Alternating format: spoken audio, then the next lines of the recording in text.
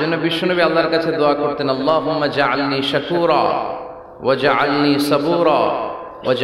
ফি ফি নাসি হে আল্লাহ, আপনি আমাকে বানান। আমি যেন আপনার বেশি বেশি প্রশংসা করতে পারি। আমি যেন আপনার বেশি বেশি শুকরিয়া আদায় করতে পারি। ওয়া জাআলনি সাবুরা, আমাদেরকে ধৈর্যশীল বানান।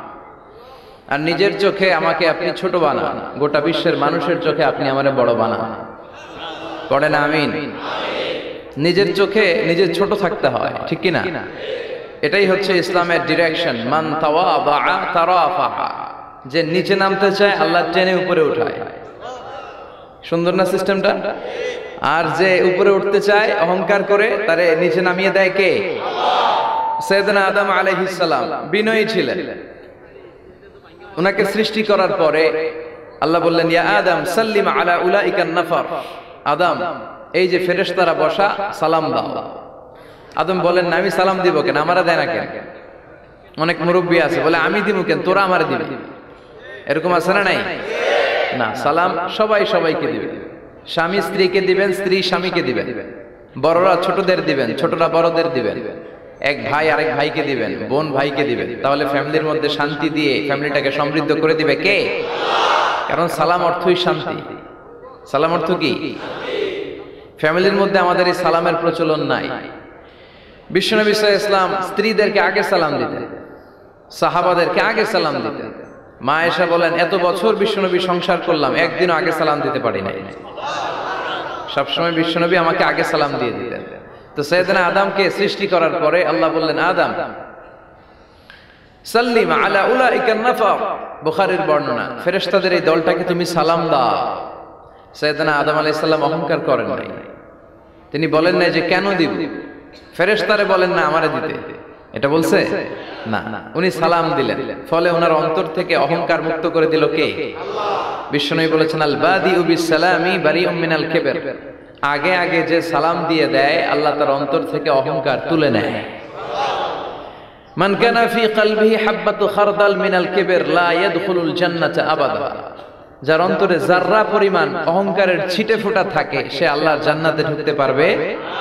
আল্লাহর জান্নাতে ঢুকবে বিনয়ীরা। কারা? যারা বিনয়ী মুতাওয়াদা হাম্বল যাদের মধ্যে হাম্বলনেস আছে যারা বিনয়ী তারা জান্নাতে ঢুকবে। তো সৈয়দনা আদম আলাইহিস সালাম বিনয়ের পরিচয় দিলেন। কিন্তু শয়তানকে আল্লাহ বললেন উসজুদু। শয়তানকে বললেন শয়তান সেজদা দাও। ফেরেশতাদেরকে যখন অর্ডার করেছে সেজদা দাও। শয়তান বলল, আল্লাহ, আমি সেজদা দিব না। অহংকার করল, সে নিজে নিজে উপরে উঠতে চাইল। সে বলল, খলাক্তানি মিন নার ওয়া খলাক্তাহু মিন তিন। আপনি আমাকে বানিয়েছেন আগুন দিয়ে, আগুনের ধর্ম উপরের দিকে ওঠা। আগুন জ্বালিয়ে দিলে লেলিহান শিখা কই যায়? উপরে যায়। ওয়া খলাক্তাহু মিন তিন।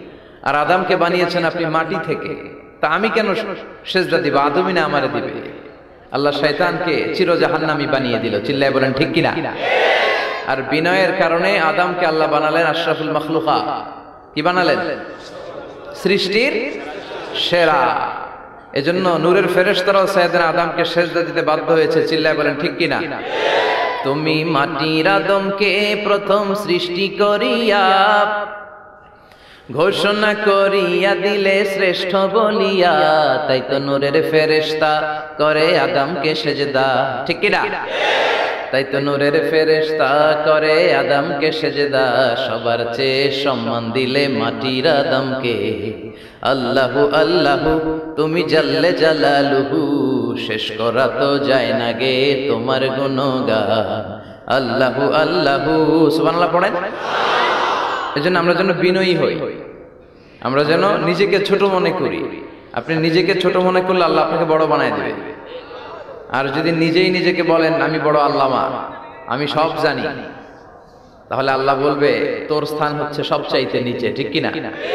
আবু নওয়াজ একজন কবি ছিলেন, উনি বলেছেন অকুল্লি ফিল কেউ যদি তোমারে বলে যে, আমি সব জানি, তুমি দুই আঙ্গুল দেখিয়ে বলো, তুমি কিচ্ছু জানো না। তোমার শিখার অনেক বাকি। জাননেওয়ালার উপরও জাননেওয়ালাও আছে, ঠিক কিনা? এজন্য আমরা যেন বিনয়ী হই। বিনয় হাম্বলনেস আরবিতে বলে তাওয়াদু এটা খুবই জরুরি। এগুলো আমাদের মধ্যে এখন নাই। আমাদের মধ্যে ইগো ইগো প্রবলেম আছে না নাই? অহংকার জেলাসি অ্যারোগ্যান্স এগুলো থেকে সম্মানিত ভাইয়ের আমাদেরকে বেরিয়ে আসতে হবে। দেখবেন সমাজে যারা খুবই হাম্বল বিনয়ী, তাদেরকে সবাই পছন্দ করে। করে না? আর অহংকারীদের কেউ পছন্দ করে না। সামনে সালাম দেয়, পিছনে গালি দেয়। কথা বলেন। এজন্য অহংকারী হবেন না, বিনয়ী হবেন। বিশ্বনবী বলছেন, আল্লাহ, আপনি আমার বিনয়ী বানান। আপনি আমার ধৈর্যশীল বানান। আপনি আমার শুকুর গুজার বানান। আমার চোখে আল্লাহ, আপনি আমারে ছোট বানান। মানুষের চোখে আপনি আমার বড় বানান। পড়েন আমি তো, এখানে কি গোখরা সাপ পাওয়া যেত নাকি আগে? বিলটা অনেক বড় ছিল। এখানকার মাছ এসে আমরা খেতাম। সুন্দর একটা এলাকা ছিল। তো এখনও কি আছে জলাটা? বর্ষাকালে পানি হয়? আচ্ছা। পত্রিকা তো একবার একটা রিপোর্ট হয়েছিল, গোখরার জলা নিয়ে। এটা বাংলাদেশের ওয়ান অফ দ্য বিগেস্ট জলা। অনেক বড় একটা জলা, অনেক পানি হয় বর্ষাকালে। এলাকার লোকেরা খুব ধর্মপরায়ণ, ধর্মপ্রাণ। যারা এই প্রোগ্রামের অ্যারেঞ্জ করেছে, আমি তাদেরকে আন্তরিক শুক্রিয়া জানাই। যারা আপনারা অনেক দূর দূরান্ত থেকে, একজন তো এসে বললেন যে আমি চট্টগ্রাম থেকে এসেছি। কেউ বলল যে আমি পুরান ঢাকা থেকে এসেছি? অনেকে অনেক জায়গা থেকে এসেছেন, আলহামদুলিল্লাহ। এটা একটা ভালো সাইন এটা it's a very good and positive sign যে কোরআনের কথা যেখানে হয়, এখানে মানুষ জড়ো হয়। বানের পানির মতো ঢল নামে মানুষের। আগে যাত্রাপালা হইতো। গানের কনসার্টও এখন কমতে শুরু করছে, ঠিক কিনা? ওই জায়গাটা দখল করে নিছে কোরআনের তাফসীর। এটাই প্রমাণ করে আগামীর বাংলাদেশ, ইসলামের বাংলাদেশ, চিল্লায় বলেন, ঠিক কিনা? ইসলামের বিজয়কে কেউ ঠেকায় রাখতে পারবে না। ইসলামের বিজয় অবশ্যম্ভাবী, গোটা বিশ্বব্যাপী ইসলামের গণজোয়ার। ডাচ পলিটিশিয়ান একটা ইসলাম ধর্ম গ্রহণ করছে না? আগে বলতো, Islam is a lie Quran is a poison Quran নাকি বিষ, আর ইসলাম নাকি মিথ্যা।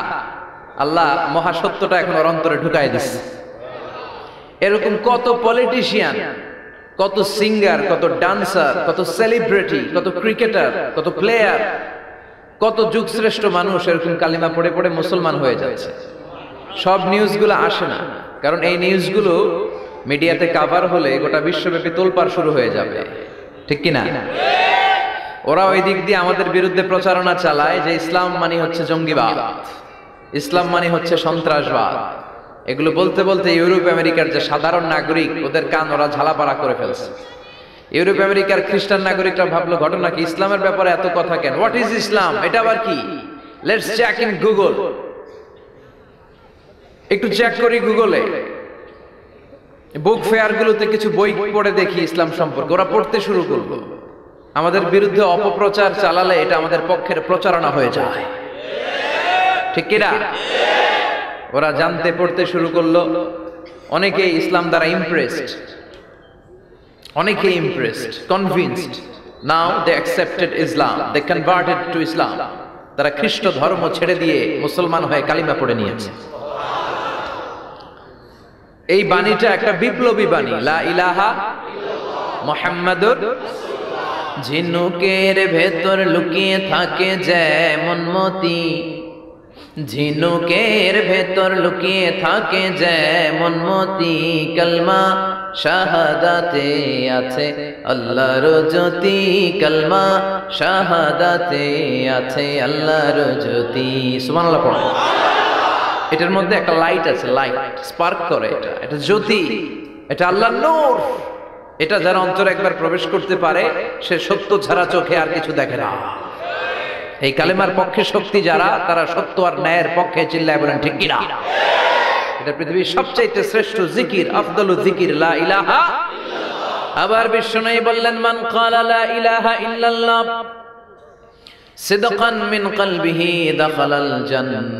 অন্তর থেকে একনিষ্ঠতার সাথে একবার ইলাহা পড়বে, ওই লোকটা জান্নাতে প্রবেশ করবে। তার অপকর্মের কারণে, তার পাপের কারণে হয়তো সে পানিশমেন্ট পাবে জাহান্নামে। কিন্তু ফাইনালি সব শেষে সে জান্নাতে ঢুকবে, ঠিক কিনা?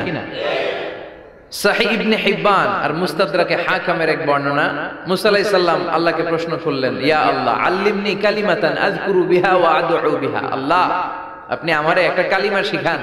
একটা জিকির শিখান। যে জিকিরটা দিয়ে শুধু আমি আপনার জিকির করব, এই জিকির কেউ জানবে না, শুধু জানব আমি আর আপনি। পড়েন। আল্লাহ বললেন, ইয়া লা ইলাহা মুসা, তুমি পড়ো, লা ইলাহা আলাইহিস সালাম বললেন, আল্লাহ, বলছি এমন জিকির যেটা আমি আর আপনি ছাড়া কেউ জানবে না। লা ইলাহা এটা তো জাতীয় জিকির। এটা তো ইন্টারন্যাশনাল জিকির, এটা তো সবাই জানে। আমি তো চেয়েছিলাম এক্সক্লুসিভ একটা। আল্লাহ বললেন, মুসা, লা ইলাহা ইল্লাল্লাহর চেয়ে শ্রেষ্ঠ জিকির আমার কাছে নাই।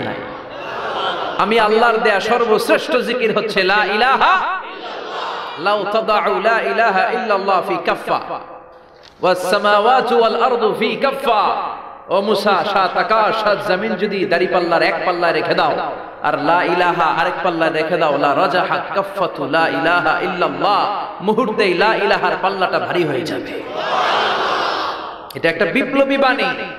এটা ভিক্ষা করার বাণী নয়। জুমার নামাজের পরে একটা টাকা দিয়া যান, আমি গরিব ইনসান, আছে না নাই? আখিরাতে সব পাইবেন পাহাড় সমান। আর জিকির ধরে লা ইলাহা ইল্লাল্লাহ। অনেকে মনে করে এটা ভিক্ষা করার জিকির। কপাল পোড়া। আমরা ভিক্ষার সাথে এটাকে জুড়ে দিয়েছি।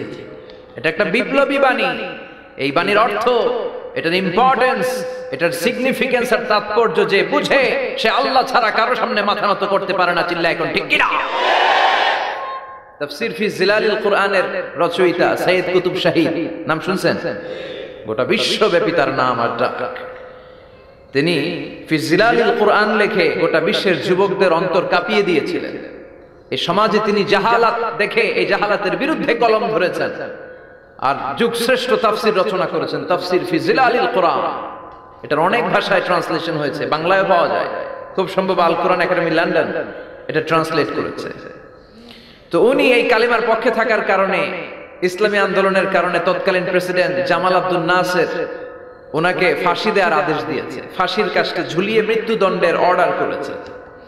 তো জেল কোডের নিয়ম অনুযায়ী যাদেরকে ফাঁসি দেওয়া হবে হ্যাঙ্গিং করা হবে হ্যাঙ্গিং করার ঘন্টাখানিক আগে ওই কারা কর্তৃপক্ষ থেকে নিয়োগ দেয়া জেলখানার ইমাম সাহেব এসে তাদেরকে লা ইলাহা পড়ায়। কি পড়ায়? লা ইল্লাল্লাহ পড়ায়। তো সৈয়দ কুতুব শাহিদ, উনিও যখন ওনাকে ফাঁসির কাজটা ঝুলানো হবে, ওই মুহূর্তে জেল কোডের নিয়ম অনুযায়ী ইমাম সাহেব এসে কুতুব বলতে আরম্ভ করল যে, আমি আপনাকে কালিমা পড়াতে এসেছি। আপনি পড়েন লা ইলাহা ইল্লাল্লাহ। কুতুব বললেন, আমারে কালিমা শিখাতে এসো না। আমি কালিমা খুব ভালো জানি। যেই কালিমা পড়ার, যেই কালেমা তুমি ফাঁসির আসামিদেরকে পড়ানোর কারণে মান্থলি বেতন পাও, ওই কালিমার ব্যাখ্যা করার কারণে আমাকে ফাঁসির কাজটা ঝোলা লাগছে। তুমি কালিমা পড়াও, তুমি বেতন নাও, আর আমি কালিমার ব্যাখ্যা করার কারণে আমার ফাঁসি হয়, তার মানে তোর কালেমা আর আমার কালিমা এক কালিমা না। যাদের হৃদয়ে আছে আল্লাহর ভয়, তারা কভু পথ ভুলে যায় না আল্লাহর প্রেম ছাড়া এই দুনিয়ায় কারও কাছে কোনো কিছু চায় না যারা সে